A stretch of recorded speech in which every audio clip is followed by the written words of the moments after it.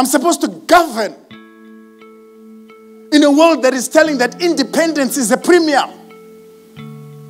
In a, it, that tells me 18 is you can vote, 21 is age of majority.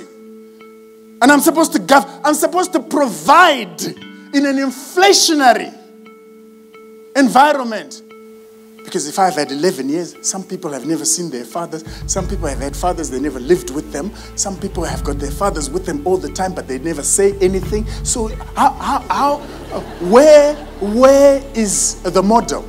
The model of fathering should be observing a father who is also not reluctant to share with you and to show you.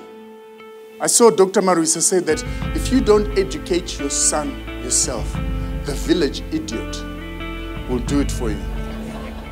You understand?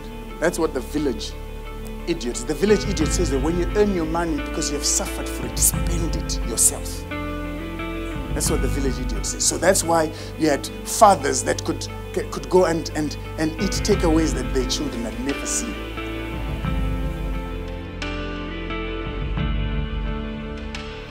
In 1 Corinthians 4, it says, You have many instructors, but very few fathers. Because a father shows you.